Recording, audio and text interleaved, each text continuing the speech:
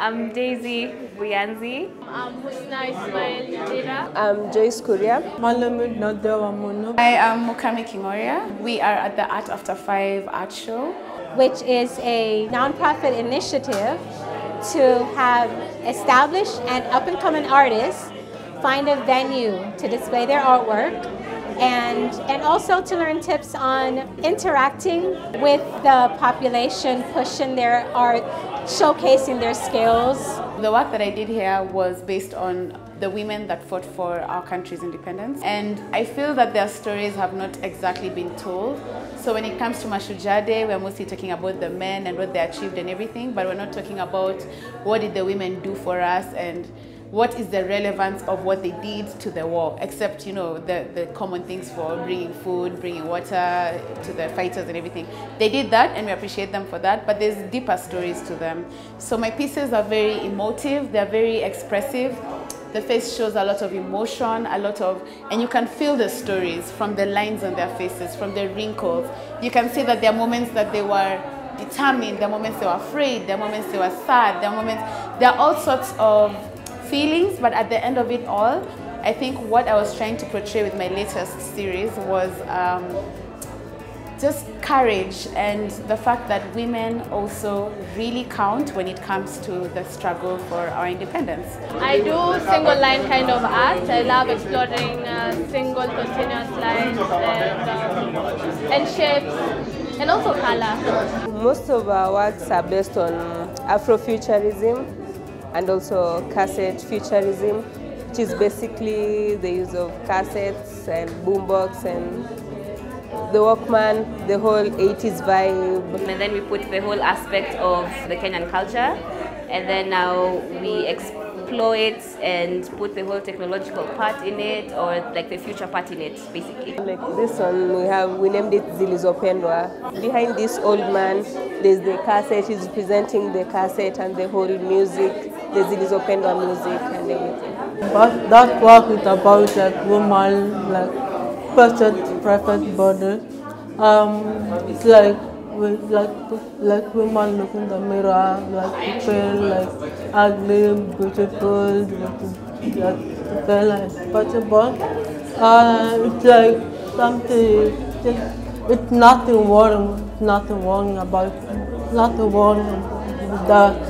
So, but um, it's like we we that woman we like what what is thinking, what are you doing, what's wrong, wrong, that if body is perfect, it's very perfect, that's very comfortable.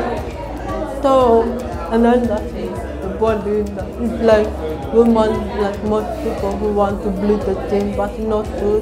Black is beautiful, beautiful black. African people black. Then, but the work about preference border. It was amazing to be uh, exhibiting uh, alongside Nadia, Joyce, Mukami, and, um, and Daisy. It's amazing, and the turnout is amazing. Obviously, the first one wasn't so good. The second one was kind of growing, but then by now it, has caught up, and everyone is coming, and everyone is appreciating art. And I believe the Kenyan scene is actually the Kenyan art scene is actually changing because more people are now appreciating art as compared to before.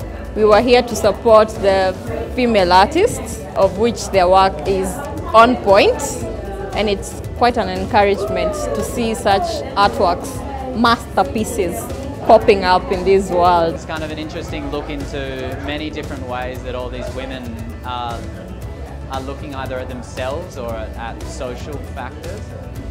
Yeah, it's, it's, very fascinating. African women are doing awesome stuff. So you should come to art after five each and every month, msikie kile wanawake wanafanya pia. And pia kulikuwa na wanaume wakienjoy art ya wanawake. So basically, Kenya is doing amazing stuff which is able to be recognized internationally and locally. The art scene in Kenya is dominated mostly by male artists, and you can find female artists uh, putting on shows, or if they're there, they are very little. It's hard to catch up with the guys because you have to do work that is actually on the same level. I'm better than them, sijui there's just that feel like you have to, you feel like you have to impress people, not just show up as a female artist, but make that like your presence known. That's, that's the pressure on female artists. All the male artists that we've met, they say that most of the women kind of dropped out of art because of their families, because, gee, you know, some reasons, all sorts of reasons. But I think that you should always fo- follow your dream. Like, if that's what you're meant to do, by all means, let it, let nothing stop you, for sure. Do what you love and everything else will love you back. That's it. That's where it's at. That's you live a more satisfactory, more fulfilling life, and you get to earn from what you love. You just less depression, less sadness, less anxiety. We are trying to make this um, a really big thing in Kenya for everyone to appreciate art, for everyone to buy art, to everyone to see art um, also a full-time job, basically. And it's getting there. It's been quite an honor and a privilege to actually give back to the community, to support this um, initiative. And we see it as a win-win because they get a space to show their work. Art retains the culture, tells the culture, and actually um, allow young people to have a voice. I'm very excited for the future of the art industry in Kenya. And I'm very excited to see that there are more ladies coming in as well. Big ups, and I would like to urge them to keep the fire burning.